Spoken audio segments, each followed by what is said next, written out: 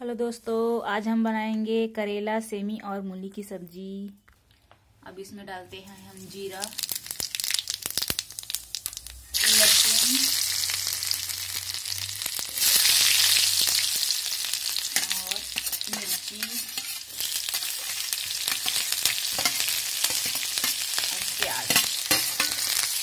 थोड़ा देर के लिए इसको भूनेंगे। अब इसमें हम डालेंगे सेमी।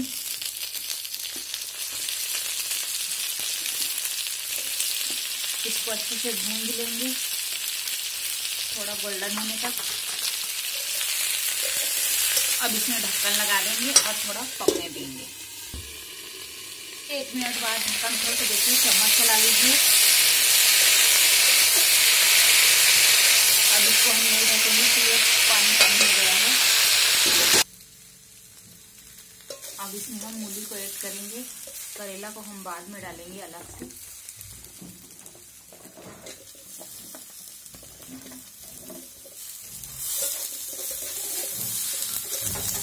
पाँच से सात मिनट हमने सेमी को अच्छे से तला है। अब इसमें मूली डाल देंगे। इसको थोड़ा भून लेंगे, चम्मच चला लेंगे। ये दो मिनट हो गया, अब इसको निकाल देंगे हम। अब करेला को तलेंगे। आधा चम्मच तेल डालेंगे करेला को भूनने के लिए।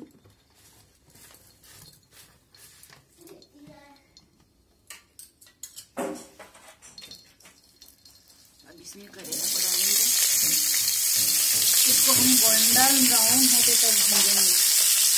थोड़ा ज़्यादा देर तक भूनेंगे हम। बीच बीच में चम्मच चलाते रहें ताकि चिपके नहीं और ऊपर नीचे अच्छे से तल जाए। इसमें अब हम टमाटर डालेंगे। देखिए, इसको अच्छे से हमने भून दिया है। धीमे आँच में इसको भूंजिए, नहीं तो जल जाएगा। अब इसमें हम टमाटर डालेंगे।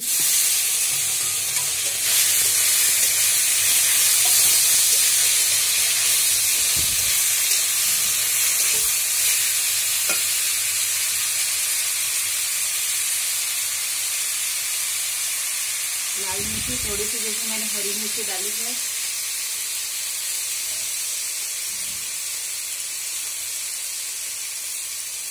आधा चम्मच हल्दी।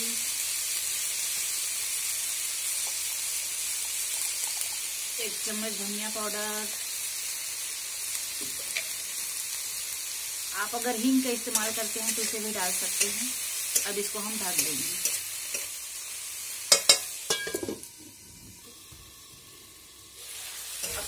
चम्मच चला के देखते हैं। अब इसमें नमक डालेंगे।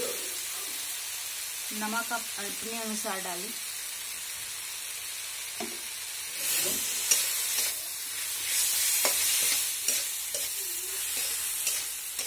अब इसको थोड़ा देर ढक के पकाएँगे, फिर सब सब्ज़ी को इसमें ऐड करेंगे।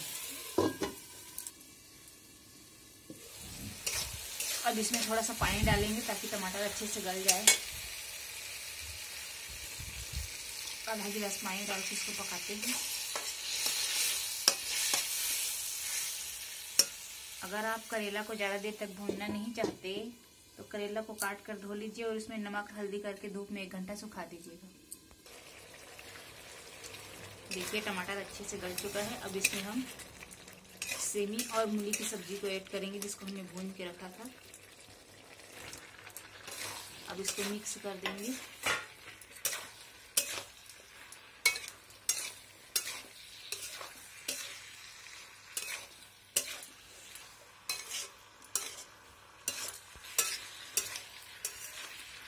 इसको अच्छे से मिक्स करने के बाद ढक देंगे हम।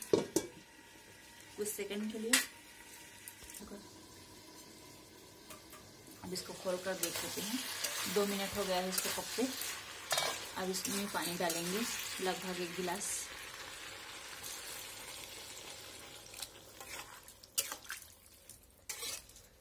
अब इसको पकने देंगे। बीच में हम ढक्कन खोल के थोड़ा थोड़ा चम्मच चला लेंगे, ताकि ऊपर नीचे अच्छे से हो।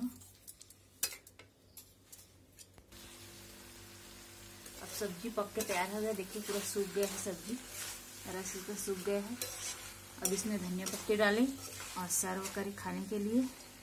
आप चाहें तो इसको और सूखा कर सकते हैं थोड़ा सा और रोटी चावल के साथ खाएँ। वीडियो देखने के लिए धन्यवाद।